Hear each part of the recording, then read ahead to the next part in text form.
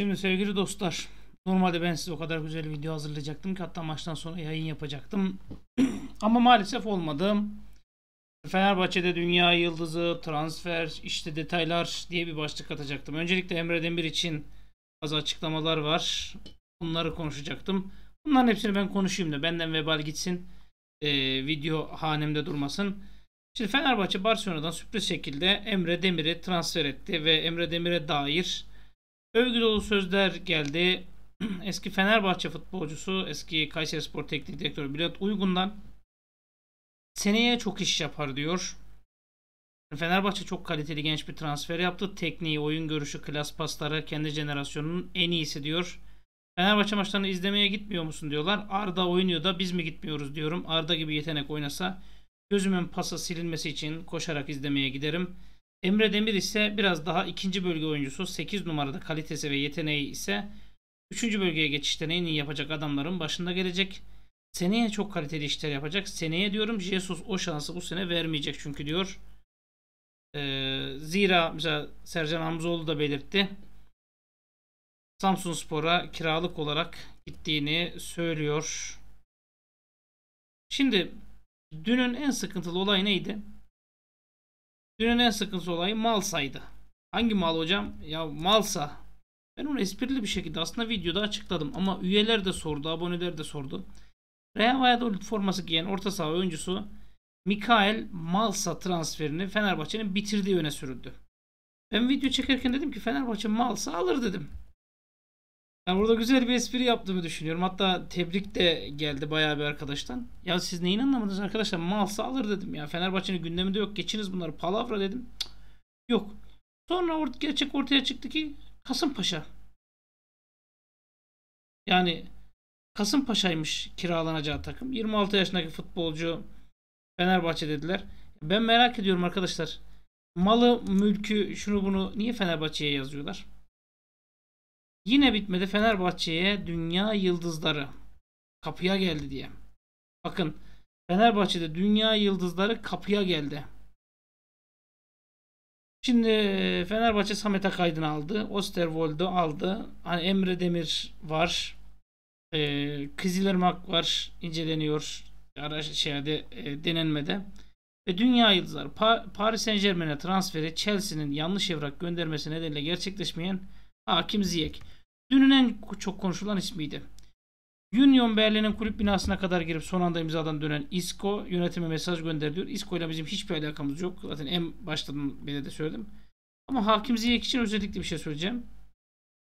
Ee, şimdi transferi iptal oldu. Paris Saint Germain'e gitmedi. E, Fenerbahçe'ye önerildi. Buraya kadar burada bunların hepsini benden duydunuz zaten. Herhangi bir sıkıntı var mı? Ya da yalan söylediğim bir husus. Bu arada Osterwold hocam niye Adana Demirspor maçında oynamadı diyeceksiniz. Pazartesi gününe kadar hazır olursa sisteme taktiğe uygun oynarsa izleyeceğiz. Ee, ben yine söylüyorum son derece iyiydi yani Lincoln. Çok da şey değil.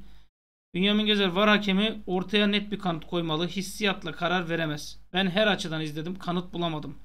Var ise TFF bize göstersin. Koray Gençerler'in bulduğu kanıtı. Golün iptali yanlış karar.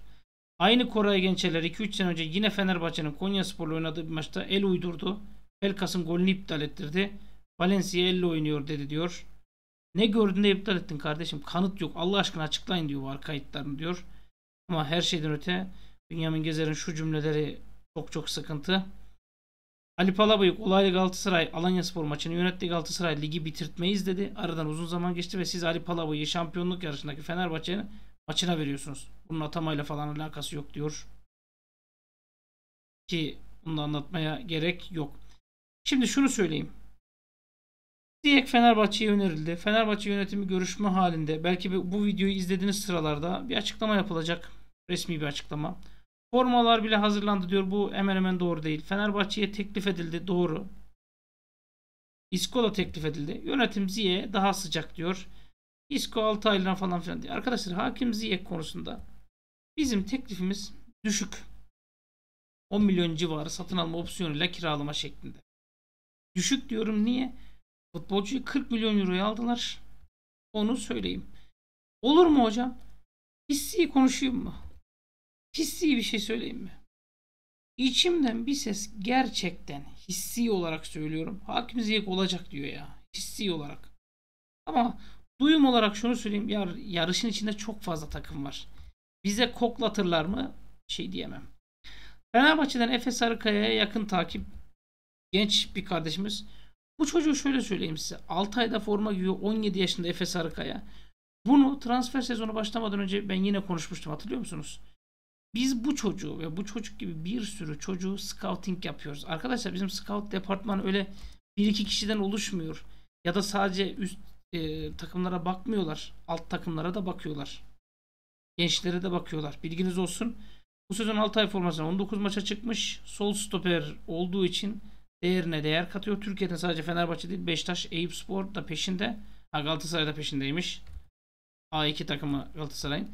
Manchester City ve Atletico Madrid de oyuncuyu scout ekibine izlettiriyor. 6 ay 1.2 milyon euro istiyor demiş. O günlerde de durum buydu. Sezon sonu bu. Çocukla ilgili gelişmeler. Bilginiz olsun. Fenerbahçe'ye bir genç daha. Ernest Namua. Namua. Ne? Nuama. Nuama'mış. Ben de biliyorum iğrenç oldu ama mecbur. Nörşland'da forma giyen Ernest Nuamah'ı gündemine almış. Ara transfer döneminin hızlı kulübü Fenerbahçe.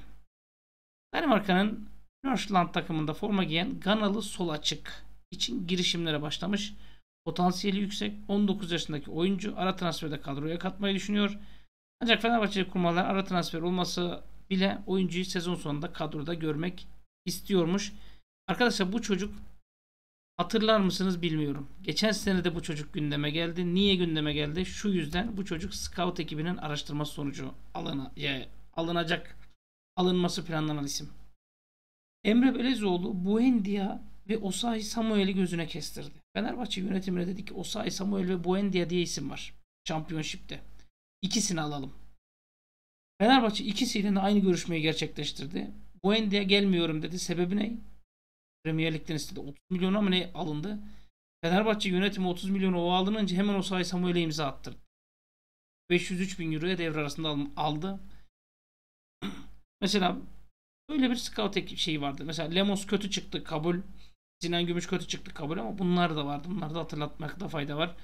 Bu Noah e, yine Emre Belezoğlu'nun da başını çektiği scout ekibinin incelemesiyle falan oluşan bir e, şeyin takibilen oldu. 2026'ya kadar kulübüyle sözleşme sürüyor. Piyasa değeri 2 milyon euro civarında gösterirse de şu an 6 milyon euro falan istiyorlar futbolcuya. Şu an biz 6 milyon euroyu bir futbolcuya verdik. Yani zor. Bon servisi elinde bulunan 20 yıldız. Fenerbahçe bunlardan birini alır mı?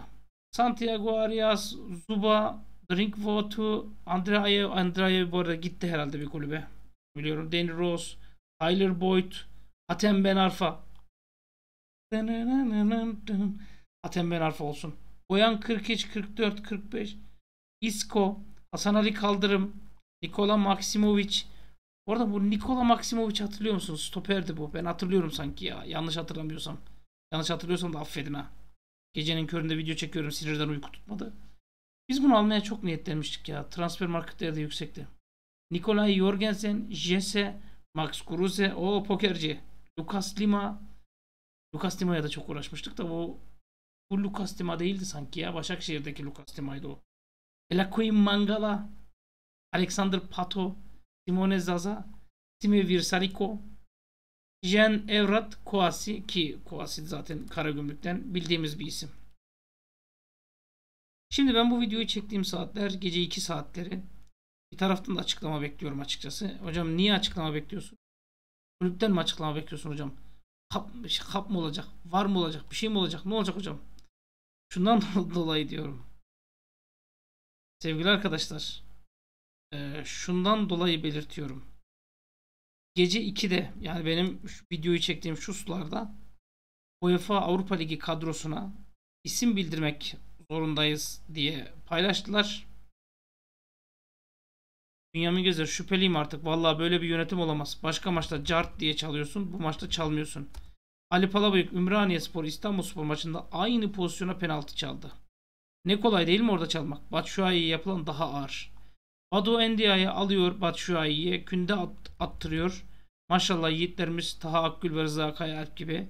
Var şimdi buna girmeyecek de neye girecek abi? Açık, bariz, net ve skandal bir karardır. Burada penaltı vermemek. Siz adaleti nasıl sağlayacaksınız diyor. Fenerbahçe'nin mahvederek adalet sağlıyorlar işte. Birileri de alkışlıyor. Koray Gençeler mesela ben hakemim beni çağırdın. Mert Hakan'ın eline çarptı dedin. Bu açıdan bakıyorum bu açıdan bakıyorum yok. Koray beni niye çağırdın? Bu golü niye iptal ediyorsun? Niye? Derdin ne kardeşim senin? Diyor ki Ali Palabıyık gidip izlemedi bile. Ya hepsi son maçına çıkmış belli yani. İnanın belli.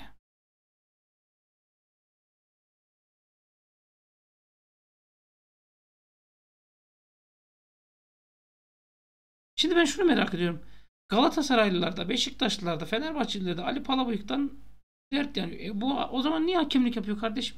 Madem hepsini biçti. O da ayrı mesele. Batshuayi'ye yapılan müdahale Bünyamin Gezer bu pozisyona penaltı demeyen aklı başında bir kişi bile yok. Hadi Ali Palabıyık görmedi. Koray Gençeller neden uyarmıyor? Bu pozisyonda devreye girmiyorsa VAR'ın hiç gereği yok. Net penaltı diyor. Şimdi ben şunu söyleyeceğim. Saat 2 oldu. Ee, kusura bakmayın biraz bölünmüş oldu ama UEFA listesine 3 oyuncu silip 3 oyuncu ekleme durumu var diye bir paylaşım gördüm. Ne kadar doğru bilmiyorum. Ben bunu almıştım şöyle bir. UEFA Avrupa kadrosu. Baştaki kadromuz bu şekildeydi. Bu arada bu kadroya altyapıdan isimleri ekleyebiliyorsun diye biliyorum. Yani mesela Arda Güler'in buraya eklenmesi bir nevi saçmalık. Ama bu saçmalığın şöyle bir durumu var. Mecbursun altyapıdan çıkan oyuncu eklemek için. 3 oyuncu ekle, 3 oyuncu çıkart. Mesela kimi çıkart? Gustavo Henrique'yi çıkart. Ekle oraya ee, Samet Akaydın. Ezgi Can Alioski'yi çıkart. Ekle oraya Osterwold. Üçüncü isim. Hani bugün gündemde olan Onur Bulut şu bu var. Onları ekleyemem. Hakim Ziyek mesela çok konuşuluyor. Hakim Ziyek'i ekleyelim. Hadi birini çıkartın arkadaşlar da ekleyelim. Hadi birini çıkarın ekleyelim.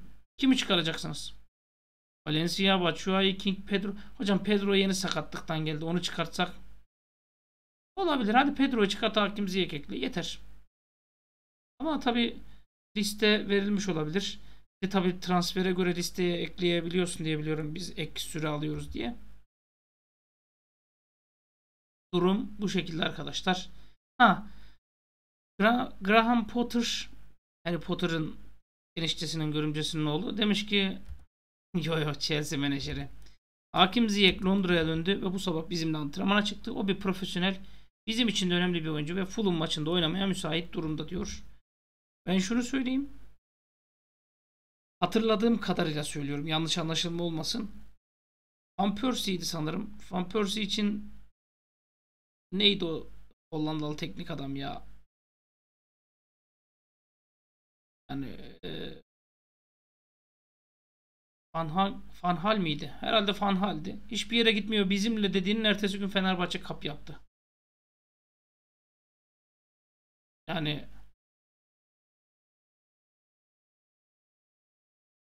yani çok enteresan değil mi?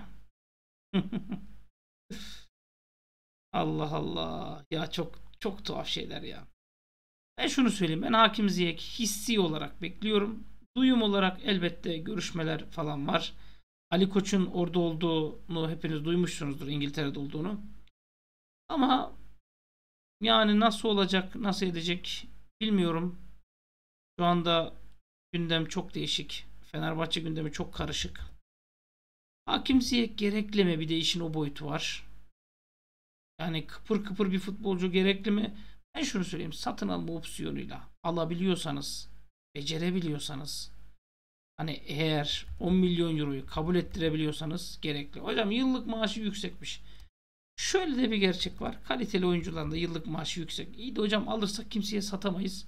Şöyle de bir şey var. Sen bu futbolcuyu satmak için almayacaksın zaten. Her futbolcu satmak için alınmaz. Mesela biz Arao'yu alırken alalım da biz bunu satarız diye almadık. Ama yine de Arao'ya teklif var. ya enteresan ya. Enteresan gerçekten enteresan. Vay arkadaş ya. Ben bir de şeyi çok kızıyorum. Onu da söyleyeyim. Aziz Yıldırım olsaydı diyor takımı ligden çekerdi. Lan takımın otobüsü kurşunlandı. Ligden çekti mi? Neler yaşadı? Bunlara gelmeyin. Hakim Ziyech olayı böyle. Bu Nu- Nuama sezon sonu Mikael Malzah'la alakamız yok. Emre Demir Samsun olayı doğru gibi. Hatta akşam 8'de Samsun Spor'a gidecek deniliyordu. Ee, ben aslında bir şey söyleyeceğim. Bir duyumum var ama bu videoda söylemeyeceğim. Ee, subliminal duyum veriyorum arkadaşlar yanlış anlamayın. Yok ya açık açık söyleyeyim. Ben olsam Fenerbahçe'nin yerinde 4 sene sonra transfer yasağını iptal ettiren ve transfer tahtasını açan Eskişehir Spor'a futbolcu gönderirdim. Derdim ki yıllık ücretini ben veriyorum. 6 aylığına siz de oynasın. 4 aylığına 5 aylığına. E, alın tepe tepe kullanın derdim. En azından moral bozmasın. İdmanlarda taraftarı görüp de sövmesin derdim. Mesela Lemos. Git oyna derdim. Gitmiyor musun? Sana ceza kardeşim. Biz seni böyle uygun gördük. Madem sözleşme feshetmiyorsun, gitmiyorsun. Ya da ne bileyim Alioski zaten kiralık. Gustavo Henrique olabilir. Eğer alacaksan. Daha olmadı. Mesela Melih Bostan olur. Ee, başka Jorginho olur. Benzer isimler olur. Eskişehir Spor'la bence iletişimi iyi kurmak lazım. Oraya futbolcu kiralamak lazım. Ya da A takımda düşünmediğim isim varsa mesela bir Pedro'yu da veremezsin yani birinci lige. O da ayrı bir şey. Nazım Sangare olur bak. Kullanmıyorsun. O da olabilir. Neyse. Benim bu kısımda aktaracaklarım bu kadar. Beğenilerinizi, desteklerinizi bekliyorum arkadaşlar. Teşekkürlerimi sunuyorum. Görüşmek üzere.